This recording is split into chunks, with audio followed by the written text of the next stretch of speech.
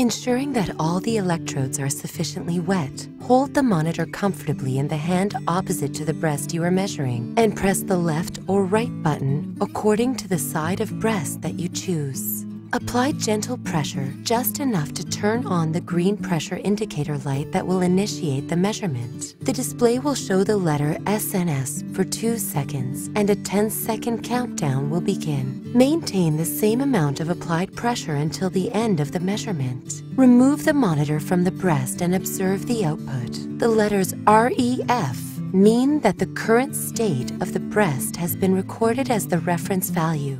Return the monitor to its cradle and start breastfeeding. Approximately 1 to 4 minutes after completing breastfeeding and once the breast has stopped dripping, re-measure the breast. At the end of the measurement, the monitor will display the amount of milk that your baby has consumed.